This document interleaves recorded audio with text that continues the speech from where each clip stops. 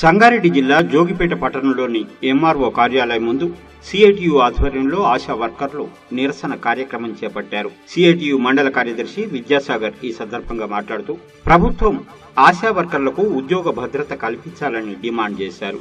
Corona సమయంలో కూడా అధిక శ్రమ పడుతూ పనిచేసిన ఆశా వర్కర్లకు ప్రభుత్వం అన్యాయం చేస్తోందని ఆరోపించారు. ఆశా వర్కర్ల శ్రమకు తగిన వేతనం అందించక వారిని ప్రభుత్వం వెట్టి చాకిరీ చేయిస్తోందని విమర్శించారు. ఆశా వర్కర్లకు ఈఎస్ఐ పెన్షన్ సౌకర్యాలు అందించాలని ఆయన విజ్ఞప్తి చేశారు.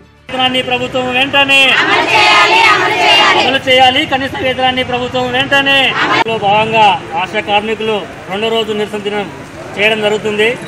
తెలంగాణ ప్రభుత్వము ఆశా కార్మికులతోని ఈరోజు గట్టి చాకు చేసుకునే పరిస్థితి ఏర్పడ్డది. ఇది చాలా దుర్మార్గమైన చర్య. రోజు రోజుకు కరోనా విజృంభిస్తున్న సమయంలో పట్టణాల నుండి పల్లెల కరోనా సోకింది. ఏ గ్రామం చూసినా విస్తారమైన కరోనా కేసులు పెరుగుతున్నాయి. ఎక్కడ చూసినా ముందుగా కరోనా పేషెంట్ పోయి దగ్గర పోయేది ముందుగా ఆశా కార్యకర్తలే. ఈ సందర్భ ప్రభుత్వాన్ని గుర్తిస్తున్నాం. ప్రతి జిల్లాలో కూడా ప్రతి మండలాల్లో ప్రతి గ్రామాల్లో కూడా కరోనా కేసులు పెరుగుతున్న ఆశా వర్కర్లకు పని భారం పెరుగుతున్నా కానీ ప్రభుత్వం ఏమాత్రం ఆశోక పట్టించుకోవడం లేదు. ఇది చాలా దుర్మార్గమైన చెయ్య అయ్యా కేసీఆర్ రెండు వేల పదహారునే కనీస వేతనం అమలు చేస్తానని చెప్పిన నువ్వు ఏం చేస్తున్నావు అని ప్రశ్నిస్తున్నాము. వాళ్ళ ప్రాణాలకు సైతం లెక్క చేయకుండా అన్ని గ్రామాల్లో కూడా ఆశా వర్కర్లకు రాత్రి మొదలు కష్టపడుతున్నారు. ఏ ఊర్లో కేసు జరిగినా కానీ పగలు పోవాలి నైట్ పోవాలి ఇరవై నాలుగు గంటలు చూసినా కానీ మీకు కనికరం లేదా అని ఈ ప్రభుత్వాన్ని డిమాండ్ చేస్తున్నాం.